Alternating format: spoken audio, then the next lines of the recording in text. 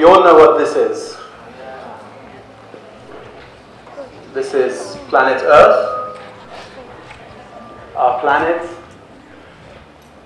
our world, the third planet from the sun in our solar system.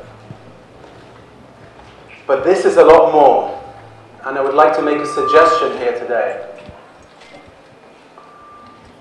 That this is our home. Not only is this our home, this is us. And my suggestion is until we see the earth as us and us as the earth, the challenges facing us today will continue. I want to share with you something that's taken me 25 years to write. I will show you a series of slides. I will read them out to you. And I ask you to please make no judgments. Read and listen with an open heart and an open mind. I will then ask you to close your eyes for about 30 seconds, and then I will proceed to ask you to open your eyes.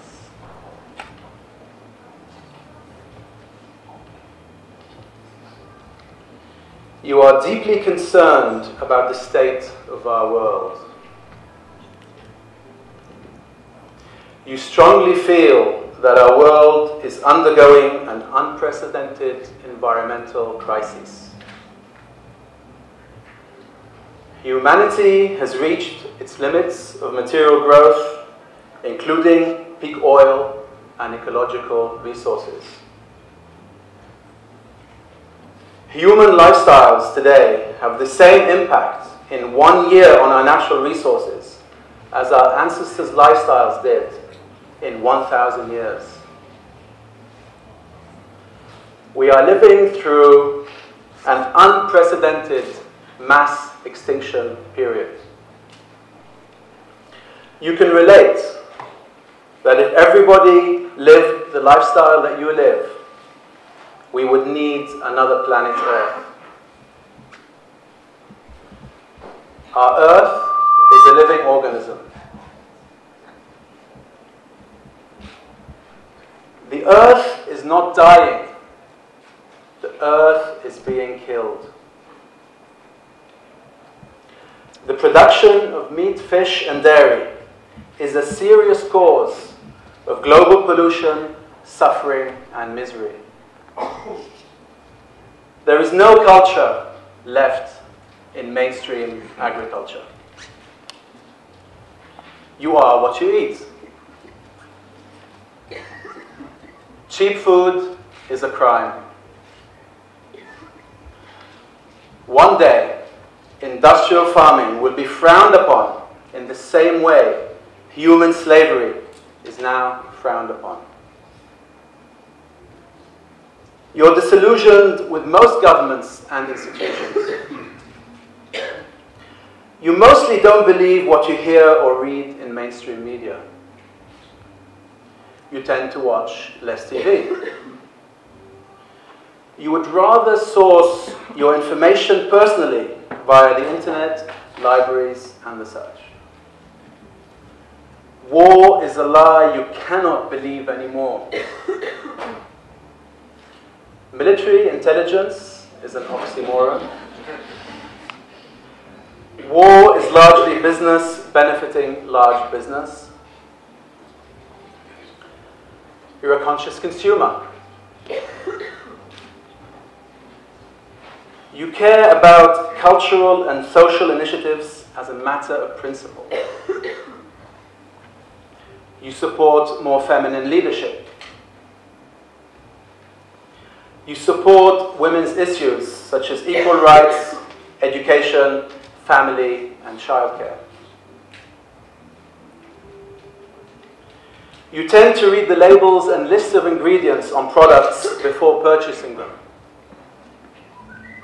You're willing to pay more for the following organic foods, fair trade and ethical products, alternative medicine, green energy, sustainable infrastructure, and progressive education. You like to support NGOs and charities with time or money. You're aware of the power you have as a consumer to impact change. The global economic business as usual system does not work anymore. You don't believe money can solve your problems and needs or the world's problems and needs. Bringing the economy back to normal is not in the interest of humanity and the planet. GDP and other such measures of economic growth are not true indicators of wealth and well-being. Material success does not mean happiness. It's not really about the economy, but really about ecology. You're deeply saddened when you see images of forests being burned and large-scale environmental destruction. You see rubbish when you go hiking or visit nature, and this pains you.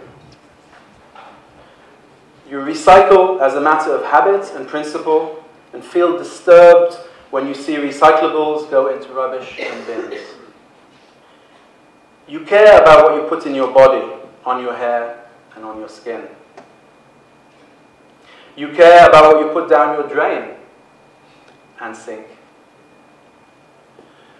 You believe that water is sacred and the source of life and should be treated with respect. You're willing to change your lifestyle and income counterbalance our planetary crisis. You lead a life of voluntary simplicity. By acting locally, you are thinking globally. You believe that one person, perhaps yourself, can change the world. By changing yourself, you are changing the world. The heart is smart. You're optimistic and proactive by nature. You're comfortable taking the path less trodden. You use your intuition and gut feelings to make decisions. You're comfortable with letting go and going with the flow. Having no plan is often the best plan. You have had a spiritual or Zen experience before. You have a daily practice such as yoga, meditation, Tai Chi, or a similar whole mind body practice. You believe in the sixth sense and that humans possess extrasensory perception. You are a spiritual being having a human experience. The mind and the body are not separate, rather, they are deeply interconnected. Our genes, DNA, and cells are not selfish, but rather altruistic. Material science and medicine have already run their course. Our current institutions of education, health, business, and industry are mostly outdated and do not serve a sustainable future. Indigenous cultures have a lot to teach us. The basis of nature is cooperation and democracy, not competition. You believe in one universal creative intelligence that permeates all of creation. We are all connected on a deep quantum level. Consciousness as a causal reality is the foundation of the new scientific paradigm. We've shifted from a material paradigm to a consciousness paradigm. I think, therefore I am, is no longer enough. I am consciousness, therefore I am, is needed today. The human, ecological, and spiritual crisis today is a new birth. The healing of the earth and the healing of the human spirit are one and the same. Neither can be achieved without the other. We have human rights. We have property rights. Isn't it time for nature to have her rights? The earth does not belong to us. We belong to the earth. Humanity is on the verge of a global creative sustainable shift, the like of which has not been seen in recorded memory. And this excites you. Could you please close your eyes? No cheating. For approximately 30 seconds or so.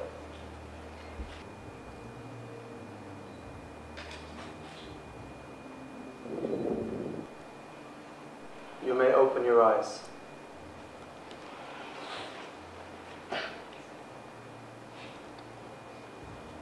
Would you believe it?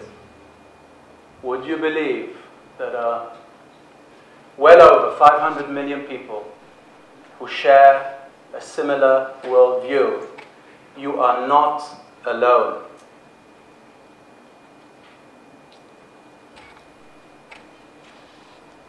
This movement is our history's largest movement ever recorded or ever known. It does not have leadership. It does not have religion. It does not have dogma. It does not have demographics. It does not have social status. It does not have ethnicity. And this movement that is growing exponentially.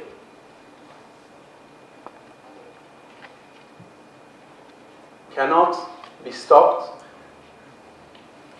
because there is no Martin Luther King to assassinate, there is no Mahatma Gandhi to kill, there is no country to bomb.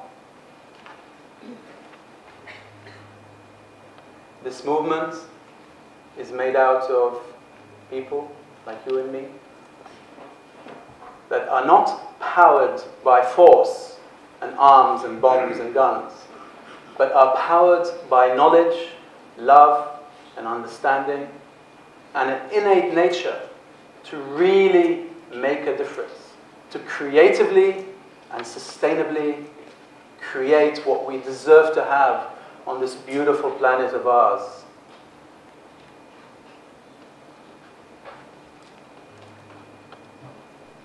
And this movement is unstoppable.